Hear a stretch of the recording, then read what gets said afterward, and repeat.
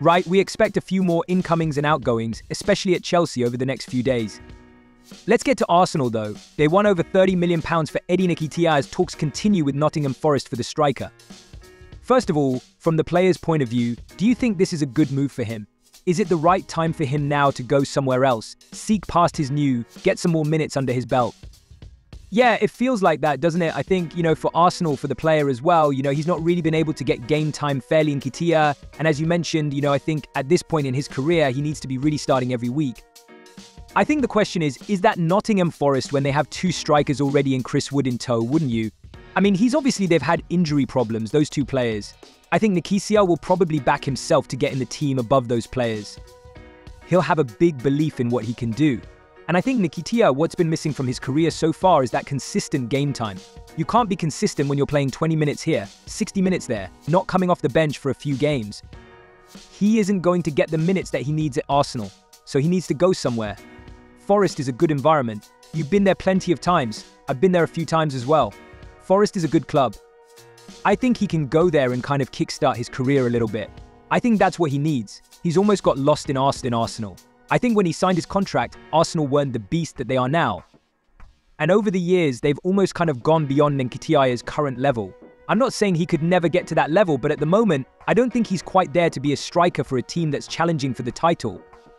And I think in some ways, if Nketiah can take a backward step at Forest, it might enable him to go forwards later on in his career.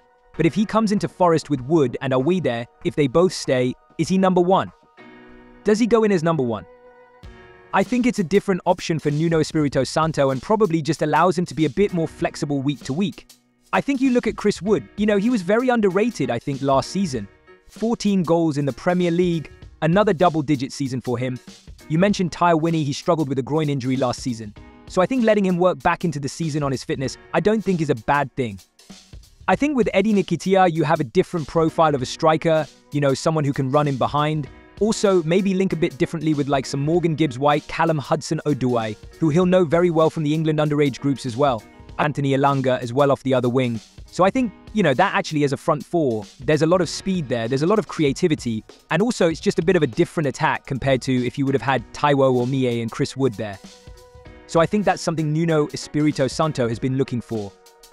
I think Nottingham Forest are all substantially looking at the Feyenoord striker Santiago Gimenez as well, so it definitely looks like they're looking for that extra number 9. We'll just see in the last week of the window again, what are they going to do about it?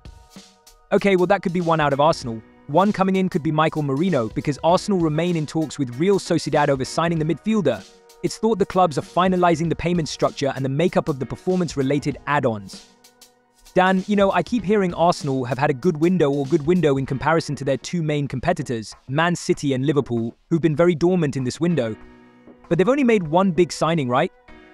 Ricardo Calafiori, defender in an area where they're very strong already. Do you think Arsenal need to make one more big or decent signing for it to really be considered a successful window? I think it's tough to know. We've just sat here and absolutely lambasted Chelsea, and then I think it's very difficult to then come and question what Arsenal are doing when we've seen how they've grown over the last two or three years, how they've improved upon year upon year.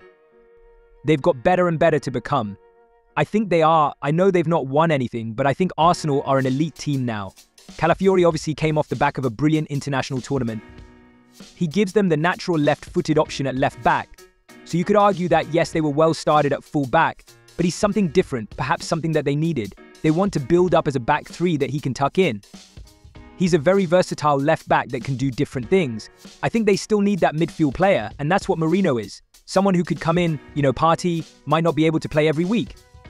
I think Arsenal were at their best last season when they had Partey, Rice and Odegaard. Obviously started the season very well. They've got Jorginho there as well, but I think they just need that other option so that they can be a bit more flexible game to game, have different teams for different competitions, like Champions League, Premier League. I think he'd make Arsenal stronger. I think he could play multiple roles in that midfield. If they get him in, I don't see that only signing two players has been a problem for Arsenal because I think they're building in the right way. I do think the proof's in the pudding. I think the club has now, over the last few years, earned enough trust for the fans to think, yes, these guys know what they're doing.